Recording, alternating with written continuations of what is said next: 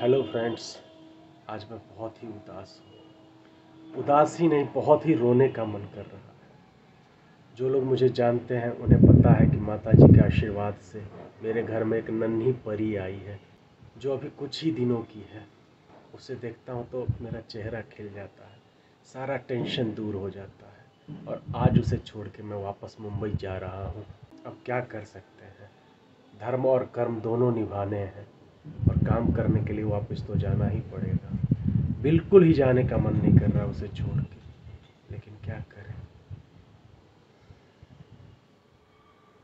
खैर, नीचे चलते हैं रूम में।